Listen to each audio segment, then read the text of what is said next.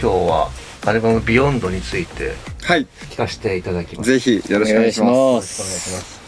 今回その15枚目のアルバムになるんですけども、はい。でやっぱり一番のそのポイントっていうのが、まあ、今までずっと w-inds.の音楽を作ってきてくれた作家陣の方、うん。再びっていうか、はい。のがやっぱり一番、あのー聞きどころだと思うんですけども、はい。まずそのケイタさんが曲をがっつり作ってきてその中で今回じゃあちょっと作家さんに頼んでみようかっていうふうに思ったきっかけというかなんかこう別に至ってこう自分の中では他の作家さんの曲を入れるっていうのは別に違和感ない。普通のウィンズとしてやることにとって全く違和感はなく。でそんな中でまあ今回この2人の体制になって、まあ、ライブツアーも終えてやっぱりこうちょっと新たな一歩をもう一歩こう踏み出していかないといけないなっていう時に、うん、これまでやっぱりそのウィンズにこう影響を与えてくれたというかウィンズを作り出してくれた方々が今こうウィンズがもう一歩踏み出すにはどういうことが必要かっていうのをなんかこう自分だけじゃなくていろんな人のこう思いをこのアルバムに乗せてみたいっていうのがありそこでやっぱりその一番最初に w-inds. を作ってくれた葉山さん。はい、でこう松本龍樹さんはそこにこうなんだろうなちょっと R&B の要素というか、はい。をこう w-inds. を中期にあの作り出してくれた松本さんとでダンスミュージックをの新しさを w-inds. に与えてくれた今井さん。はい、でその後にまあ自分がこうプロデュースして僕がいるっていうこのなんか4人のこの w-inds. の変化の時期にプロデュースしたこの4人のプロデューサーが1枚のアルバムを作るとなんかこう新たな一歩としてすごくこう大きな1枚になるんじゃないかなと思ったのがきっかけですかね。うん、なんかでも1枚通して聞くと本当にまああの複数の作家の方が参加ししてるので当たり前っちゃ当たり前なんですけどバラエティに富んだっていう言い方じゃあちょっとこう収まりきれないような。いやこれはねもう僕もバラエティーじゃなくて 時空を超えたアルバムだと思ってるんでそういう意味でやっぱ「ビヨンドっていうのは超えるっていうのは。そのタイトルじゃあやっぱこれ全部聞いてから浮かんできたキーワードだったいや全部聴いてからじゃないんですよね。そのアルバム全曲作ってからじゃなくてでもそういう感覚は自分の中でその時を超えるし、うん。なんか自分たちのなんかこう苦しい部分も超えていくし、うん。やっぱりそのなんか超えるっていうワードがいいなっていうのはなんかまあ、そもそもいろんなアイディアがあったんですけど、スタッフの方がこう一つ「Beyond っていう言葉をくれた時にあこれが今その自分たちが目指してる作品だなっていうのでもうこれは「Beyond にしようっていう気持ちでしたね。うん、じゃあちょっと一曲ずつ聞いていっていいですかね？はいもちろん、はい「カンフォゲッタブ」これはもうケイタさんとあとスレイさんその連載でも対談してまあそうですそうです。やっぱすごいっすね。僕はもうあの今回まあバンバンもそうだったんですけど、はい。ずっと仲良かったんですけど、うん。でしょっちゅう遊んでるんだけど、うん。一緒に曲を作ったことがないっていう感じだったんでちょっとまあこのタイミングで、まあ、いろんなプロデューサーさんも一緒に入ってるタイミングでこう一緒に作ろうっていうことで作りましたね。めっちゃいいっすよねこの曲。もうじゃあこれはオープニングナンバーにしようっていうのをもうそう作った時にもう決めてたんですか？いや作った時は決めてないですね。でも歌詞を書いた時にあこれ1曲目だなっていうのは、まあ、歌詞をつけた後に思いましたね「Find Me」はこれ今井亮介さんなんですけど、はい。今井亮介さんがやっぱりそのあのケイタさんが自分でこうサウンドメイクとか曲を作ろうって思わせてくれたきっかけでもあるんですかね？そうですね。あのーもう僕の勝手に師匠と呼んでる ぐらいはい。多分今井さん僕のこと弟子だと1ミリも思ってくれる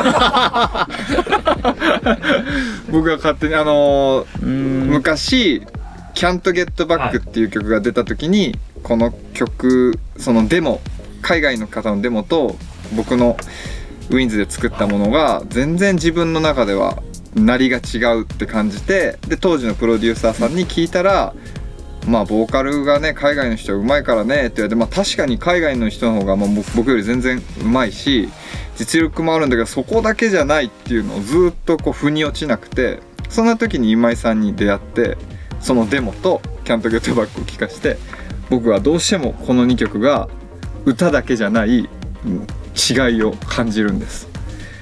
なんでか分かりますか？みたいな。その教えてもらえますか？みたいなんで今井さんがそのこれはサウンドがそのキックとドラムのサウンドとか音色がやっぱりこうダンスミュージックより R&B 寄りなのとポップス寄りなので鳴りが全然違うんだよとかそういうのを初めて教えてくれたのが今井さんだったんで、あのー本当にそういうことを知るきっかけになったっていうか、うん、サウンドの違いを知るきっかけになったのは今井さんでしたね。これ米さん逆にあの今井さんから上がってきた時これ聞いてどうでしたか？えーもう、まあ、かっこいいのは前提ですけどやっぱり今井さんいい意味で飛んでるなっていう なんて表現したらいいんだろういやー。感覚がやっぱもう 違うとこにあるなっていう。普通の構成じゃないもんね。そうそうそうそう。うん。でもうボーカルの数がもうとんでもないうん。入ってきて、まあその辺がなんかすごい今井さんっぽさも感じつつ、うん。すごいな改めてと思ってうん。なんか昔一緒にやらせていただいた時よりもさらになんかこうインパクト感じたというか。改めてこの今回の作家の方が書かれた曲を歌ってみてなんかこう自分の曲を歌う時と大きなこう変変化とかい違いありました？歌が上手くなります。あ人の歌を歌ってると。間違いなく僕歌上手くなったんですよ、うん。この3曲を歌あって、うん。もうそれはすごい感じてて。やっぱ自分にない引き出しを出さなきゃいけないんで、はい。自分たちの曲ってやっぱ自分のある引き出しでやっぱどうしてもやっちゃうっていうか。あそっか。そうその感じがあるんですけどやっぱ全然ジャンルも違えばトップラインのこう癖も違ったりとかするとやっぱこうできなくてできるまでやったりするんですよね。もう何回も。10回20回も。その感覚はどうですか？聞いてて良平さん。まあ僕も圭太君が作ってる楽曲だから、うん。まあ、圭太君の作った楽曲の方が歌いやすい。歌いやすいんですよね、うん。はいうん。だからやっぱすごいその3曲難しいなってそうですよね。思いました。だいつもの癖じゃないニュアンスを出さなきゃいけなかったりとかがあるんで新たな引き出しですよねあうれはね、んすごいいい経験になりましたね。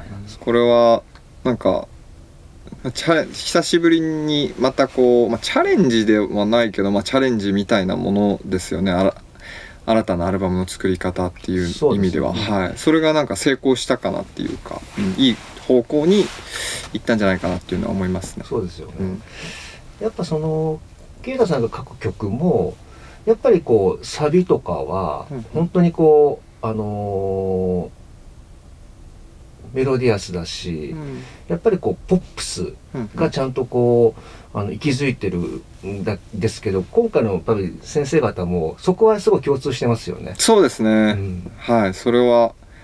でも本当に僕はもう葉山さんの曲を聴いた時にもう感動しちゃってあまりにも良すぎてオーバーザイヤーズ。はい。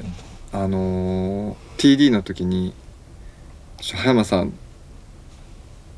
葉山さん死んじゃったらこの曲が世の中になくなると。こういう曲を作れる人が。だから弟子作ってくださいってお願いして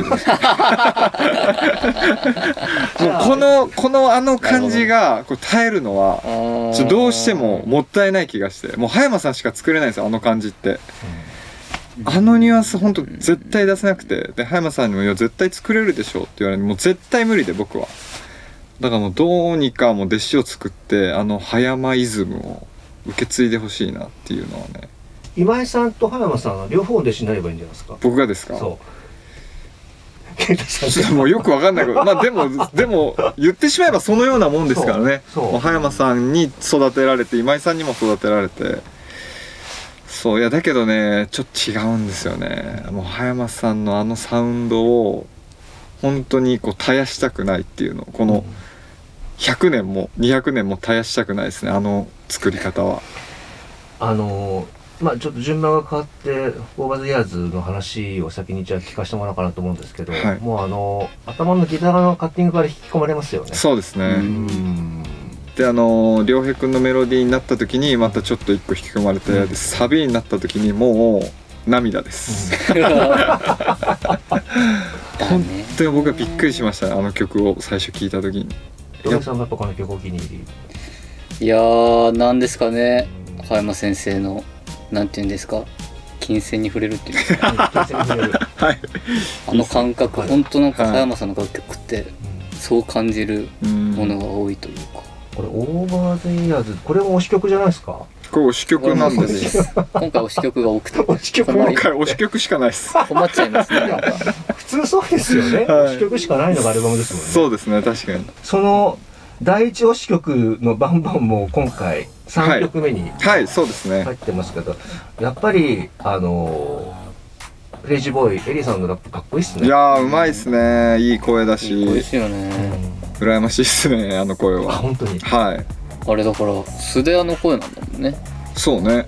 なんかこうすごい作り込んでるわけじゃないっていうか、うん。自然体であの雰囲気が出るっていうかっこよさ。あの声質はなかなか日本のアーティストではいないんでうん。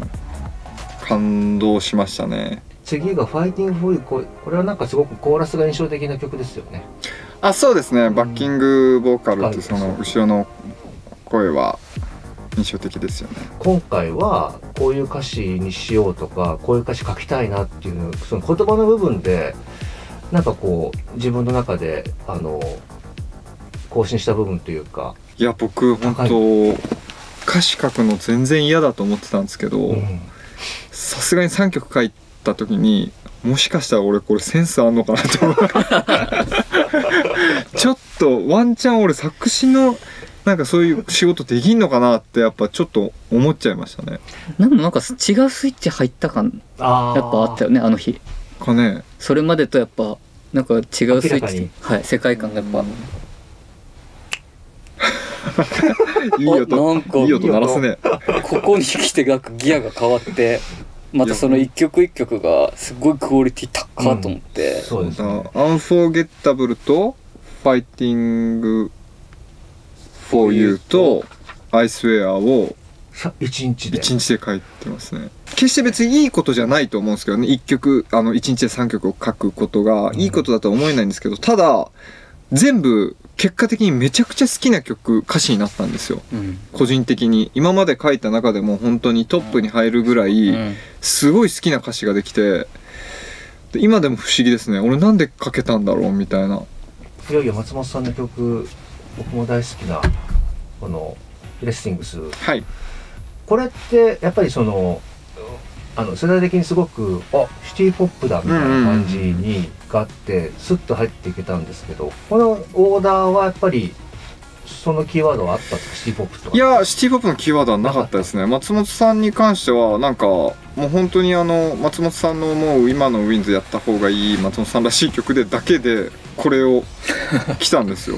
他の方はもうちょっとなんかありますかみたいな感じだったんですけど松本さん本当スパーンとしかも一番早かったですよね。早かったですね。出てきてきておすごいなって思ったのが印象的でしたね。あとはもうアレンジも松本さんがあれですか？アレンジもそうですねあと歌が難しくて本当に。でしょうねこれ。はい。これはそう思ったびっくりしましたね。どうしようかなと思いながら、まあ、どうしようかなってもやるしかないなみたいな。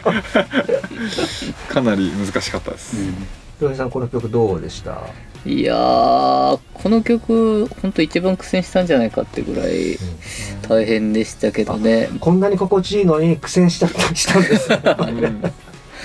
しかもまあ当時はねコーラスだけしかやってなかったので、うんうんまあ、当時それもなんかすごい苦戦した記憶もめちゃくちゃあるんですけどまあ何年経ってもすなんかね変わらない凄さが松本さんの中にやっぱあるなと思いつつ、まあ、楽しかったですけどね。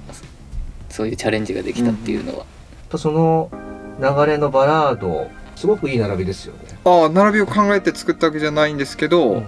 ハマりましたね。そうそう。はいなんか最近ずっとラブソングみたいなの歌ってなかったんでラブソングは一曲やりたいなって思っててそれこそこう自分たちのメッセージみたいな曲がすごいずっと多かったのででね。はい、うん。ちょっと久しぶりにラブソング作りたいなっていうのでこういう詩の世界にしましたね。この曲が最後か。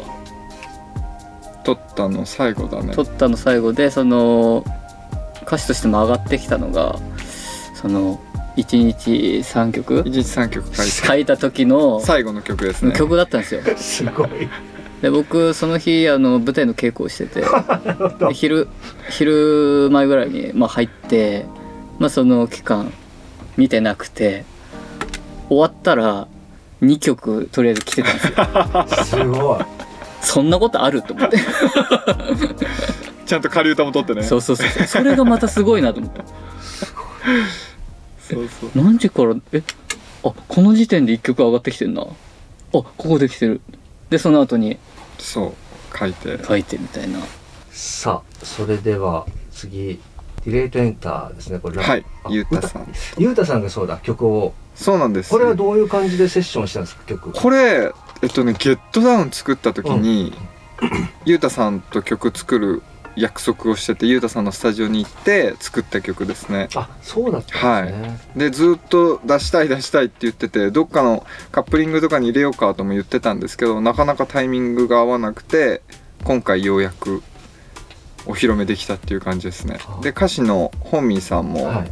あの文話だ書いてもらったりとか、まあ何曲かそれ以降も書いてもらったんですけど本当に好きで僕。へ本見さんの歌詞が好きだったんで多分いきめっちゃ急にお願いしたんですけど元旦とかねそんな感じでしたよね。ほんとそんな感じでした。ねそうなんだ。はいさすがに無理だろうと思ってダメ元でお願いしたんですけど受けてくださってめっちゃいいかっこいい歌詞ですよね。うん。ーロストファウンドは？これが一番不安ですね聞く人に。本当ですか？はい。へえいいですよね。え例えばそう僕が消えようがこの世界は何も変わんないってだいぶ尖ったこと言ってるよ。尖ってんだけどでも結局世の中ってそうだなって思ってる人だから。いやいや僕だから人によるのか。そう。うん。そうか。そうそうそう。だからやっぱこれが一番緊張しますね聞いてもらうのに。うん。分かれちゃうのか。美味しいなって思う人と、うん。そうじゃない考えの人が。でもそういう曲の方が良くないですか？なんか逆に。いやま僕あすごいやっぱりりそのなんて言うんだろうなこう結構いろんな意味で捉えられる楽曲っていうのもいいけどやっぱこういうね本当にこうすごい尖った歌詞っていうの僕好きていうかいいよね。ケイタのトゲのある歌詞ってすごい刺さるんですよ。これ昔からだと思うんですけど。だからなんかこうちょいちょいこう出てくる時に僕は いただいてるんですいただいてる美味しくいただいてるんでもどっちかというとこういう考え方ですもんね。このロストファウンド的な、うん。僕も良平君も似似たような思考なんで、やっぱりこう自分たちらしさがこう最後には、そうですようね、ん、出てるんじゃないかなっていうのは思いますね。最後がバンバンバンのこうリミックスになるんです。まあ、はい。本編としては最後というか全然表情が違うじゃないですか。そうそうだから僕も全然自分がこう歩んでこなかったルートだったんであの新しく担当されたポニーキャニオンの方が結構ヒップホップ好きだっていうところからこう紹介してもらってトラックメーカーを。でやり取りしてもらったんですけどだからすごい新しくてなんかウィンズらしくないし、すごい面白いこれこれで面白いなと思って、うん。もう本当にお任せしましたねここまで違う風にできるんだなっていうのはすごい、うん。こう同じトラックメーカーとしてうん。ちょっと尊敬できるっていう。か、どうしてもねどっかなんか残したくなる部分があったりするんですけどそれやっぱ自分の感覚的にもう耳に馴染んじゃってそうですね。それをこう全部そぎ落として新しいものにするってかなり難しいんですよね。それがすごくすごいなと思いました。上井さんこのリミックス聞いて最初第一印象どうでしたか？いやそのいい意味で本当に元の楽曲から離れてるのが、まあそのなんだろう。リミックスとして入る意味というか。確かにリミックスの意味があるリミックスって感じですよね。そうですね。まあだからそれはすごく今回面白いうん、うん一個のやり方だったかなと思います。改めてこのあの15枚目のアルバム「ビヨンドの聞きどころというかこういうアルバムなんでちょっとここに注目してほしいっていうコメントを二人お二人からもらって締めにしましょうか。どうですかねまあ聞きどころはやっぱりこの22年のそれこそ時空を超えたようなこのアルバムなんで全曲一曲欠かさず聴いていただきたいなっていうのは思いますね。うん、なんかデビュー当時の懐かしさも感じたり新しさも感じたりいろんな要素が本当この1枚に詰まってると思うので、うん、なんか昔のサウンド好きだったなっていう人ももちろんいると思うし今のサウンドが好きだったなっていう人ももちろんいると思うんでそういう人たちがこうみんなが楽しめるような一枚になってると思いますわかりました。そうですねえーまあこうやって22年23年うん歩んできたからこそ今だからやっぱこうできる作品になってるかなと思うんですけど、まあ、この今までお世話になった作家さんにも参加していただいて、まあ、それがすごくあのただ原点回帰をしてるわけではなくて、まあ、その楽曲を今だからこの20年以上経った僕らだから表現できるっていう意味であの今回一緒にやらせていただいてあの頃よりまたこう進化してる姿だったりとか全然あの前を向いてこういう作品たちに挑んでるので、まあ、懐かしさも感じつつももう全てがやっぱりこうスキルアップだったり進化してたりとかそういう、まあ、そういう部分を感じていただけたらいいなと思います。ライブになったらまたこれ少しアレンジ変わるのかあ変わるのかなとかなんかそんな楽しみを感じさせてくれるようなあの一枚でした。ありがとうございますありがとうございます。いいアルバムありがとうございました。いやこちらこそありがとうございます